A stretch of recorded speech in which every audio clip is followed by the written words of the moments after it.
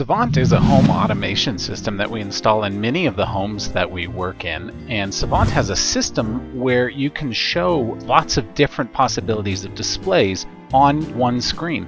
So in this case, you're looking at cameras in the upper right, you're looking at iTunes on the upper left, you're looking at music playing from the television on the lower left, and looking at the TV on the right.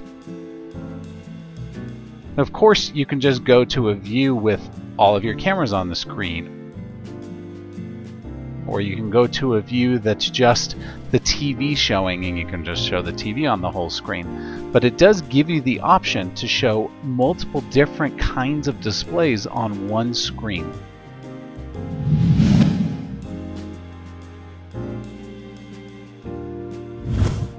We're happy to help get a Savant system installed for you or any other home automation needs you might have.